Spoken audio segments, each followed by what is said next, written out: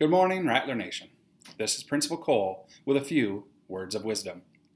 Did you know that Claude Monet, the famous French painter, painted the same haystack 32 times? Each time with a different degree of light, each time from a different angle. Obviously, Monet's haystack looked very different at dusk than at high noon. The same thing is true about the troubles we face in life. From one angle, things may seem hopeless. From another, hopeful. In one light, a problem may seem huge, and in another light, very small. The French say, What is true by lamplight is not always true by sunlight. Next time you feel yourself overcome by a problem, talk to someone you respect and trust. Try looking at the problem from as many angles as possible.